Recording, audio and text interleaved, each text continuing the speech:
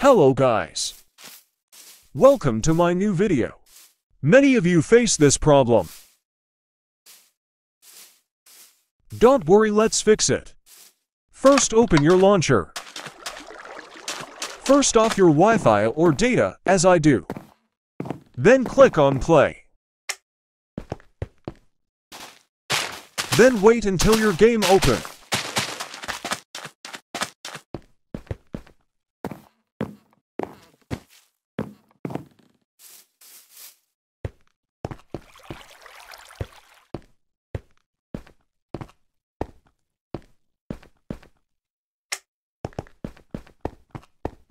Now you can open multiplayer.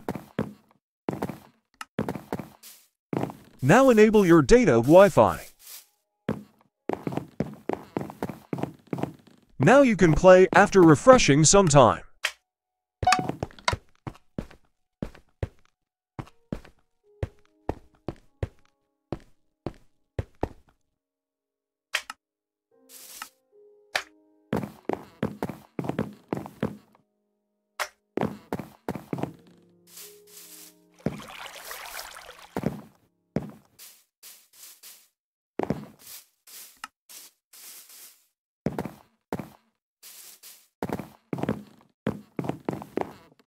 I hope you understand everything. If it helped you then like and sub. Thanks for watching. Comment if you have any other problems.